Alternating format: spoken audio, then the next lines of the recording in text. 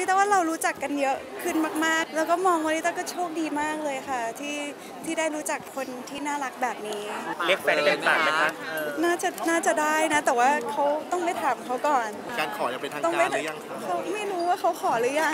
แต่เห็นว่าแต่เห็นว่าก็มีการเรียกกันว่าเบบีเบบี เออ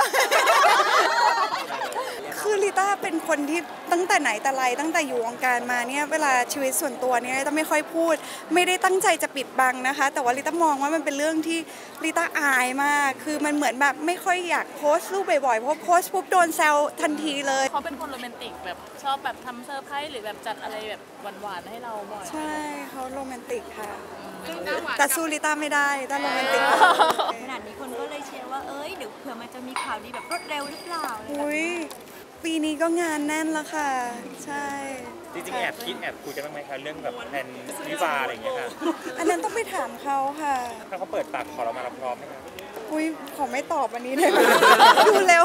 ยังขอไม่ตอบได้ไหมคะอันนี้